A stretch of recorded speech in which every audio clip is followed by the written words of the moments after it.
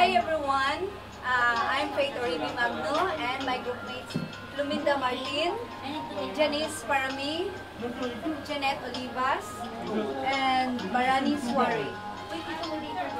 We are the students of International Management School taking a specialist diploma in caregiving. Today, we're gonna show you how to position the patient affected by stroke um, effectively and uh, comfortably. Now, we're gonna show you how to position the patient lying flat on bed or supine position. Hi, Madam. Good morning. How are you today? I'm Floni, and this is my assistant, Janet. We are here to change the position, but just relax. Okay. Now, the caregiver will position the head centrally.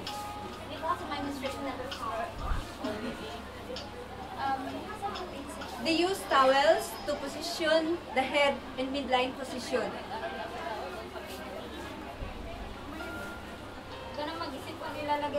A pillow can be placed in a weaker shoulder and arm. One person, right?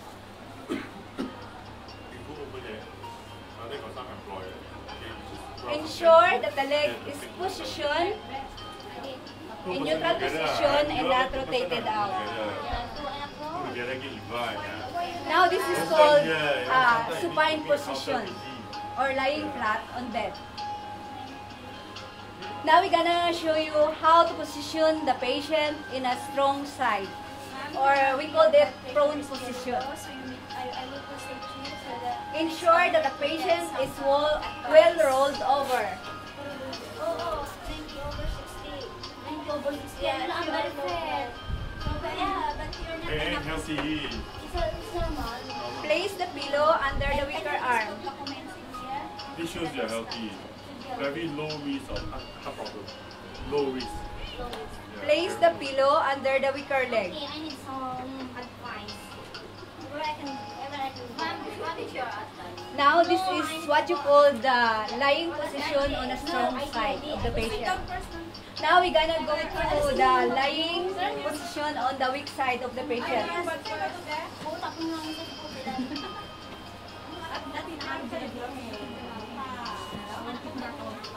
Ensure that the head is well supported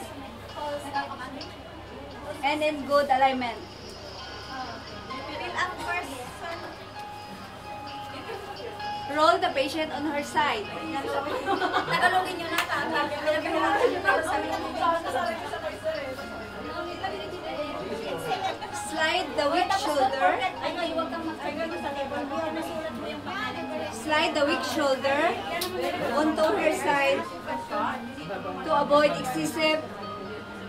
onto her side to avoid excessive pus- pressure onto it. I need to take all your names. Ikaw yung diba nilalagay?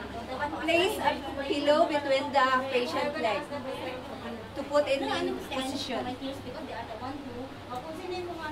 No, everyone, because they take the blood pressure, they take the blood pressure. That's why, that's why I So now this is what you call the lying uh, on the weak side. Tapos mamaya, if Of I'm the gonna ask you patient. survey, you also give me that thing. Yeah, sure.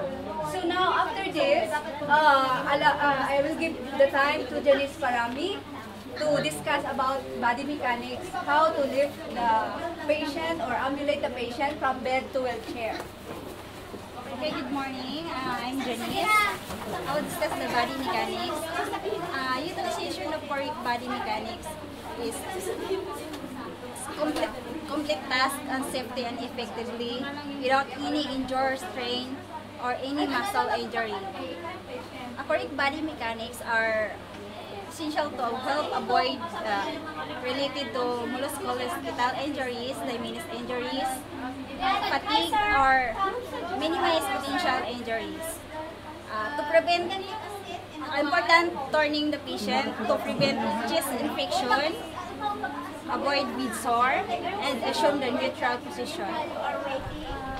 Thank you so much. Uh, now I give you the time for Pluminda Martin to discuss about ambulation and how to move the patient from bed to wheelchair.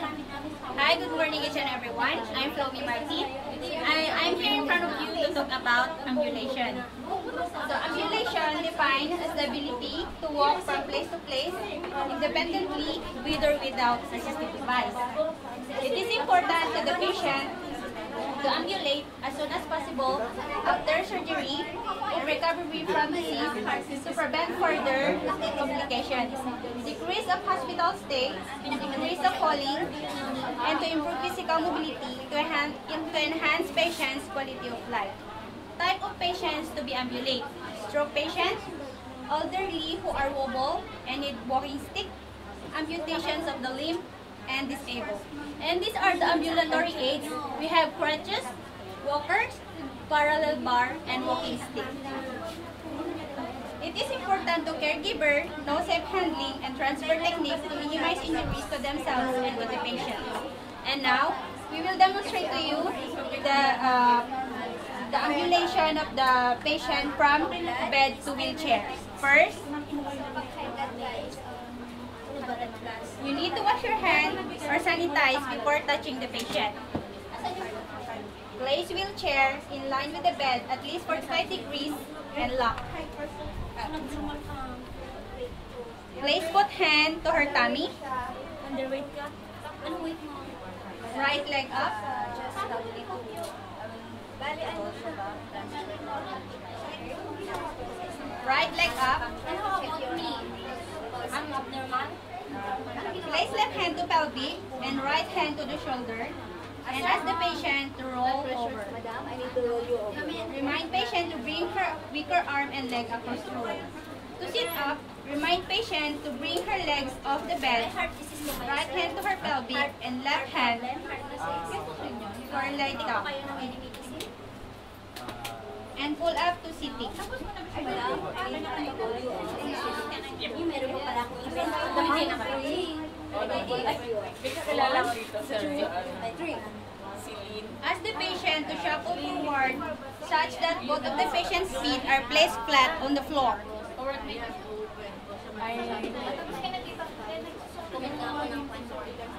With the arm that is closer to the wheelchair, reach and hold onto the armrest of the wheelchair. Doon po, tingnan ko kayo doon sa internet video some advice. Lean forward to stand and walk around. Use both hands to support her trunk and ask the patient to place her arm on your shoulder and transfer her to the wheelchair. Madam, at the back, I transfer you in the wheelchair, okay? One, two, It's three. not done already. Always be close to the patient so that you can assist her when she lost her balance. Okay, so this thing, when this thing is HA, there's not power. They need to go off. See if it's 100. And that is the ambulation of the patients from bed to wheelchair. And now, we also do the uh, ambulation of patients from wheelchair to bed. Park wheelchair with the patient's strongest side next to the bed. Lock the wheelchair brakes and remove feet from footrest. Swing or remove footrest from wheelchair. Explain to the patient the sequence of lifting and pivoting into the wheelchair. transfer you, we already transfer you from wheelchair to bed, okay? Just have us so that we can lift you an effective uh, transfer. Using bear hug techniques, ask the patient to place her arm on your shoulder as you place your arms around her trunk. Okay. Brace her feet with your feet to prevent slipping. Use your leg muscles, stand up, and bring the patients upward in a steady rising motion. Okay, at the count of three, I need you to transfer from wheelchair to bed. One, two, three, up. Sit the patient on the bed. Assist in bring the patient's leg up onto the bed uh, and position her for her comfort. Sir, may bibigay ng advice sa'yo. Hello po. ah, Sige daw. Okay po kayo, sir. Ate, Evangeline po, sir. Seryoso kayo. Nakakailan na talaga. Kumusta po kayo, sir? Did you have any heart disease, heart problem? Did you take any medicine? And that's all. Thank you. And now, Oh, ma'am. Oh, sorry. Janet will talk about bed sores. Hello, I'm Janet. Um, today we're going to learn about bed sore. Bed sore is injuries skin and um, um, underlying tissues um, that um, resulting from prolonged under pressure. There are three kinds of bed sores. There are um, sustained pressure, frictions, and shearing. And then we have to, uh, these are the things that we have to pre- uh, prevent for the bed sores. After cleaning, we have to clean with the powder and then the cream.